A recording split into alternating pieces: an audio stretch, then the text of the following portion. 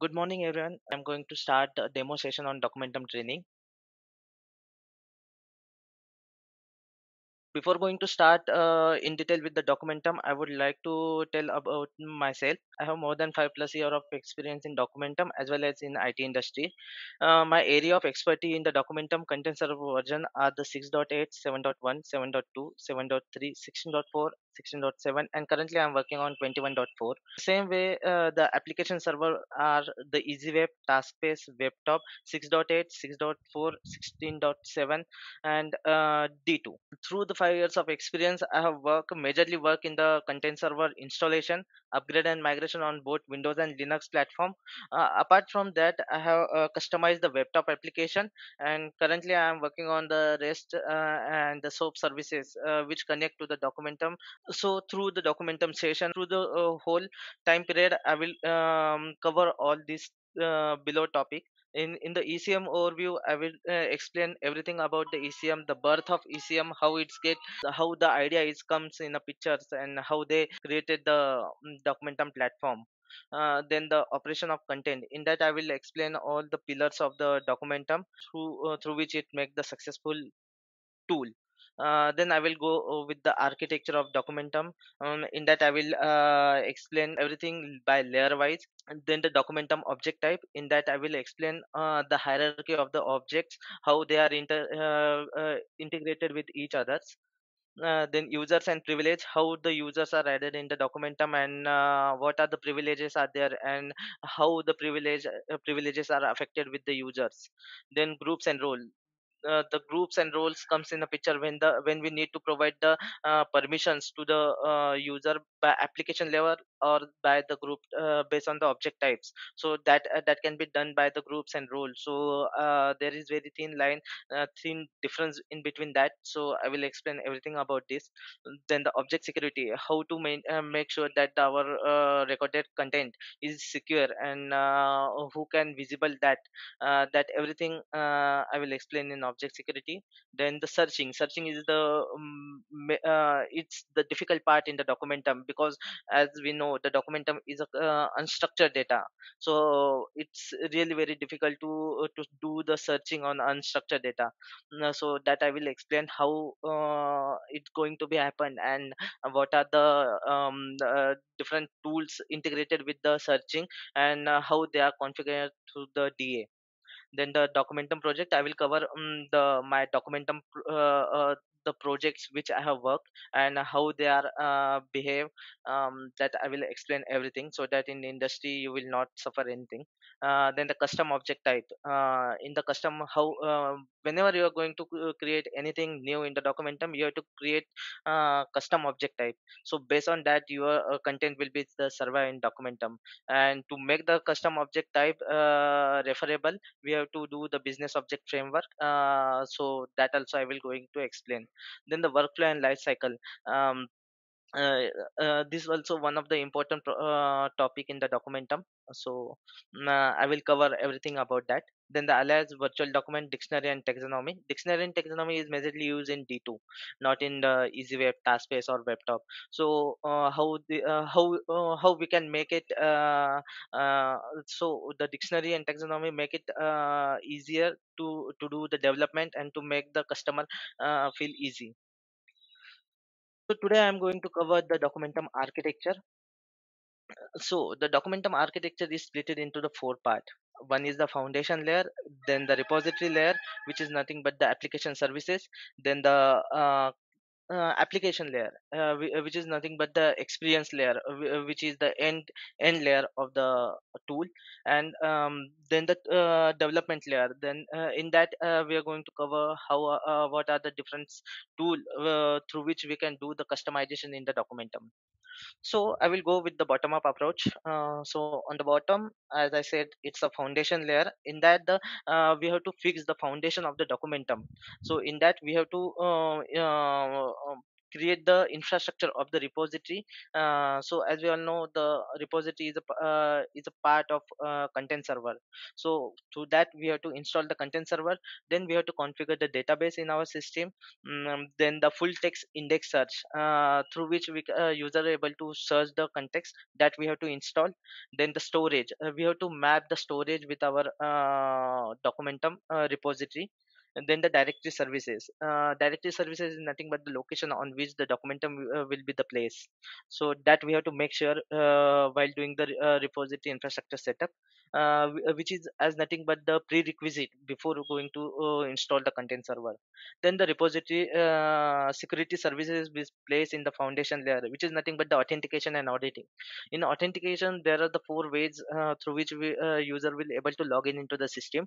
That is nothing one the first one is the os through the os there will one uh, there will be one um, data type and through which user will directly log into the system.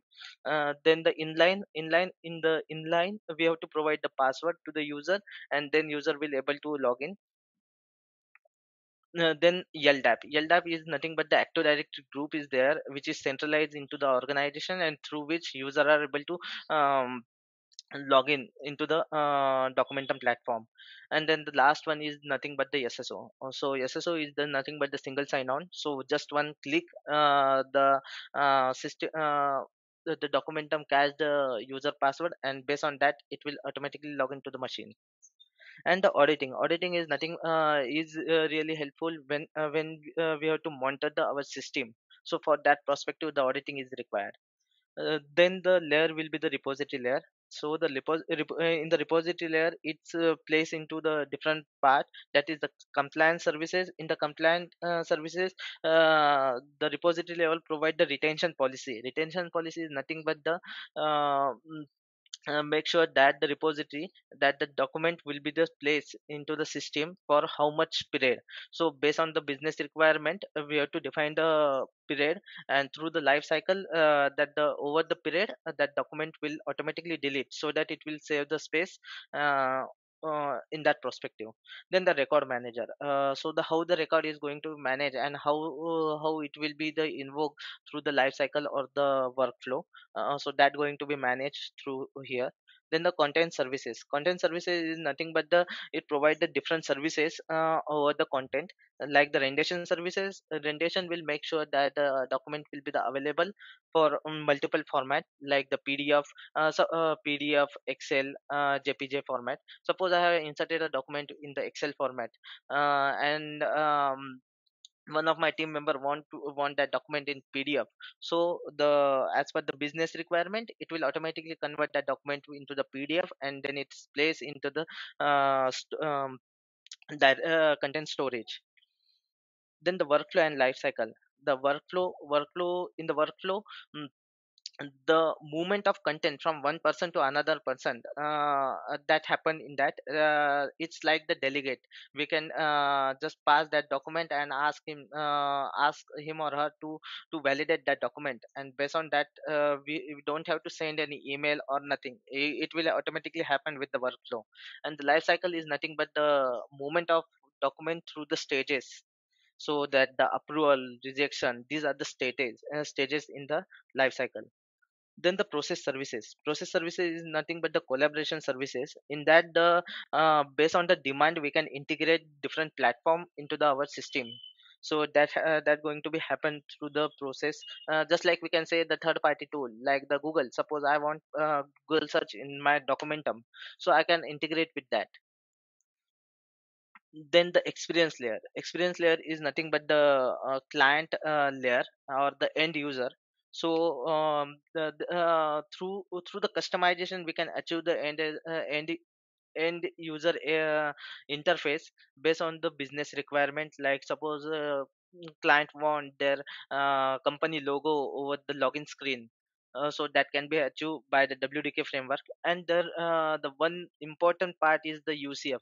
UCF is the Unified Content Fidelity. So based on the UCF, whatever the content movement uh, uh, that is a download or open uh, or um sending from one person to another person, that that everything is going to be op- uh, done by the UCF, uh, which is the Java-based application, which is automatically installed when we install the uh, Documentum then the development layer. Development layer uh, is also nothing but the tools uh, through which we can make the customization on the documentum um, backend side. So uh, the uh, the the ways are the dfc dfs uh, bof that everything will explain in detail with other chapters.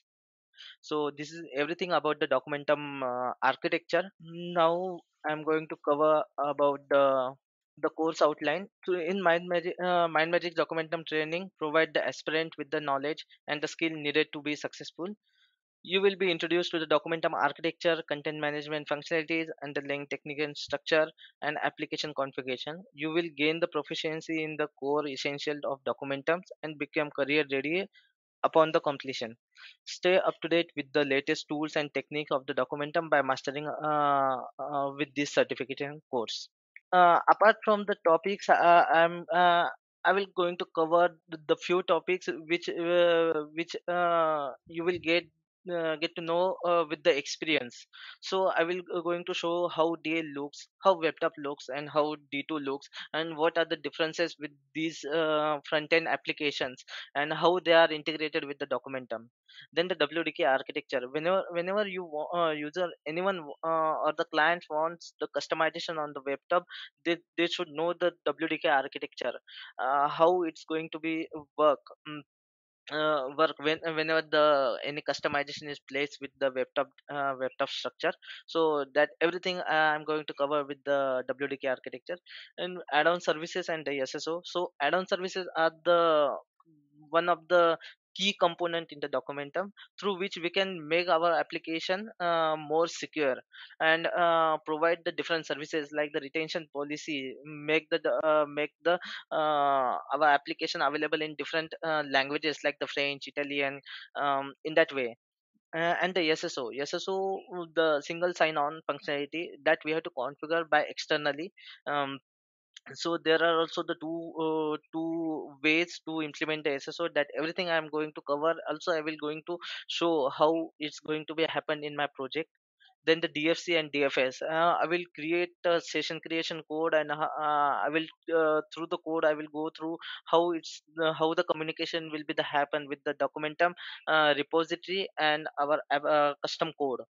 That everything i am going to cover in this topic then the with the course you will get the documentum content server webtop and d2 latest version guide. Uh, with uh, in that everything will be the uh, there are around 7 to 8 guides will be there. That is the installation configuration guide uh, administration guide uh, then the user guide. Uh, so everything will be there with the latest version and the course pdf in the pdf the theoretical parts and the mcq questions will be there in my whole experience i have worked with the two projects. So one uh, one is the dow chemical. So as we know the dow uh, the dow is a chemical company and it's the leading company in the america. So the dow chemical uses their um, uh, uses documentum for their enterprise content management uh, functionality. So managing the technical specifications procedure manual of manufacturing equipment uh, maintenance etc related documents are stored into the documentum managing the business process documents uh, like the best practices standard guideline which can be shared globally for the dow operationally experience. Mm, uh, then the mandiva. Mandiva um, um, uses documentum application for the uh, stored document uh, for the use stock and sale vehicle by integrating with the sap so here the sap they have integrated with the documentum so by, by using the rest and soap services the communication uh, will be the happen with the sap and the documentum so that uh, uh, that also i will going to um, explain uh, uh, as add-on services uh, in that uh, everything will be there uh, uh, in the lab setup, uh, we have the high speed internet, uh, desktop, as well as the laptop.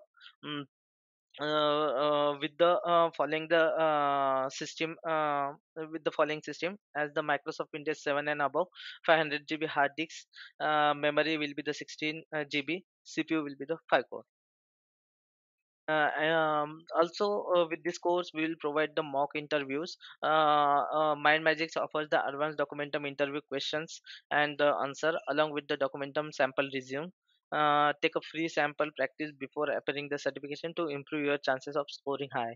These are the frequently asked questions in the documentum like what is the documentum what is the content server what is the doc base uh, what will be the do- uh, doc broker and so on uh, through this course you will get the certification. Uh, you can uh, apply for the certification on opentext site uh, for the documentum administration documentum business administration documentum d2 business analytics. Uh, so once you're done with the certification you will be um, in demand in the it industry and uh, you can be placed in any of the leading uh, it companies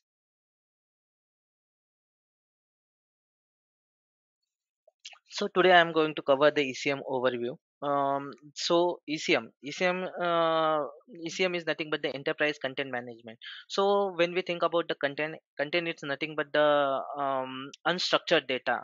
So, uh, uh, so as we all know, there are the many tools like the SQL, MySQL for the uh, structured data so structure uh, will be stored in the into the database as a key value. But for unstructured uh, unstructured is kind of anything like the text document word document or excel document eh, audio video uh, so we can't say. It's unstructured anything. So to store the unstructured data we have uh, we have to store with the metadata. Metadata is nothing but the information about the data. So uh, suppose i have put one excel file. So the more information about the excel who created this excel when created it the excel when it's modified. So everything this information will be stored into the um, database and the content uh, will be stored into the storage directory of the documentum so this is how the content and metadata will be the related with the documentum. So this this is the basic fundamental uh, the basic funda of uh, of the creation of documentum tool. So uh, wh- wh- when we install the documentum the first point will comes in a picture is the repository. So repository is used to manage the both content and its metadata uh, which is stored into the file system and the database. So um, so uh, the repository is uh, stored into the documentum and uh, and the content and metadata which will be the stored into the repository. Then the content server. Content server contain the application. Content server bring the storage content metadata to the live and manages. Content server manages the multiple repository uh, if there are and one uh, if there are one or more repository then it will be uh, one will be the global repository. So the uh, the uses of global repository so uh, whenever we customize the code and which which is apply for uh, all the repository so through the global repository we can install all over it. We don't have to copy uh, the code for every every repository. So the code reusability happens to the content server as a global repository so there are the five pillars uh, for the content uh, content manage uh, for the documentum so one is the content manage- uh, management services content management services primarily deal with the storage retrieval versioning data dictionary assembly publishing and the search functionality content server uses an object oriented model uh, stored the everything as an object in the repository. It provides APIs for managing the content and the metadata together. Data dictionary stored the information about the object type in the repository. The data dictionary can be altered by addition of the user defined object type and the properties. Virtual document. Uh, virtual document is nothing but the linking of multiple compo- uh, contents uh, in in a single file. So uh, to uh, into a large document Content server also provide the indexing and the search capability, which included the ability to search within the content and the third party search provide the uh, to the installation. Then the process management services is the second pillar. Process management features included the workflow and lifecycle. Workflow typically represent the business process and the model event uh, event oriented applications. Um, and the life cycle uh, define the business rule that can be applied to the different type of the document then the security uh, services. Uh, a repository uses access control list nothing but the acls um, also known as the permission set as a security mechanism by default. Content server provide robust uh, accountability compatibility via the auditing tracing and the electronic signature. Accountability features help identify causes of specified system behavior. Auditing can be track operations such as the check-in check-out that can be the configured uh, to the audit trail can be provide uh, detailed runtime information useful for identifying the cause of certain behavior and troubleshooting the issues. Electronic signature can uh, enforce the sign off of business process. A sign off is the analog to a signature on paper and it is a way of author- authorizing or approving a decision electronically. Distribution services uh, a single repository distributed uh, configuration.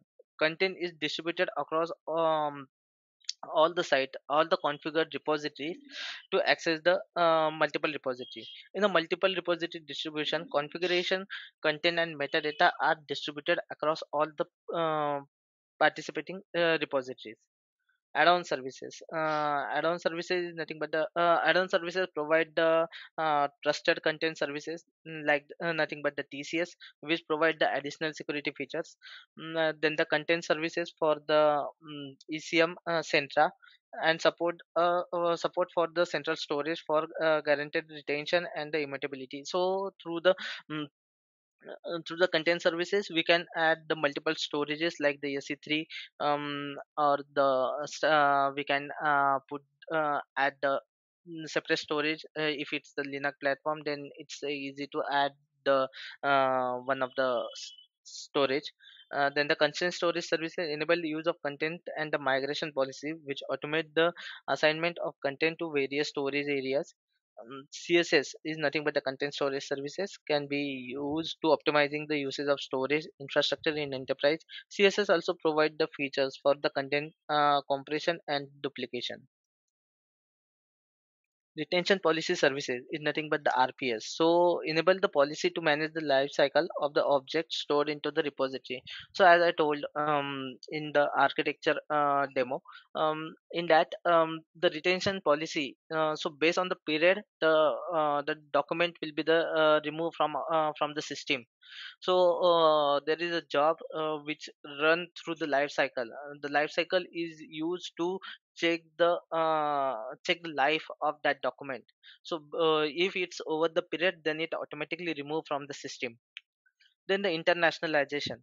Internationalization is nothing but the make the app or application for the different la- uh, languages and other regional differences. By default uh, documentum is in english language. So to make it um, uh, to make it internationalize uh, internationalization uh, we have to install the uh, jars uh, for a specific country or the specific language like for the french italian spanish um, uh, so uh, these uh, for these the jars will be available on opentext site. You have to download and then you have to place on the application side uh, for that they have provided the all the infra, uh, installation guide um, so by, uh, by following the steps you will get to know how how this can be happen.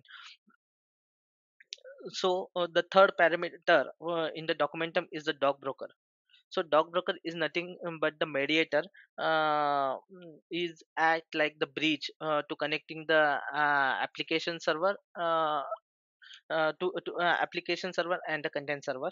When we install the content server at the time the doc broker is installed it exposes the repository information connect using the session.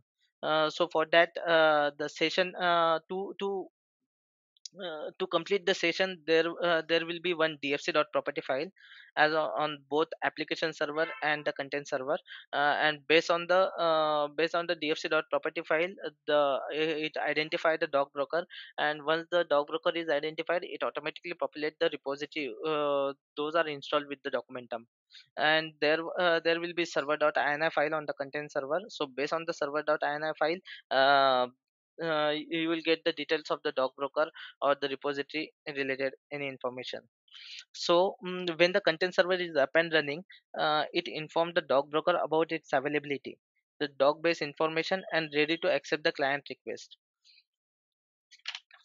Uh, so the client application has a dfc.property file under the web inf classes uh, which store the doc broker host and port to connect the repository using the session doc broker pick up the content server uh, if more than one are available then uh, then based on the um, indexing it will pick up and uh, it will check whether the repository is available or not. So based on the selection criteria it will pick up the uh, correct doc broker uh, content server through the doc broker information and it will make the connection happen. Uh, content server retrieve the request from the doc base via the doc broker then create a session so it's a um, uh, three tier uh, uh, client server architecture so the uh, in first tier is the user or the client then the second tier will be the doc broker and third tier will be the content server Thanks for attending the session on the ECM overview.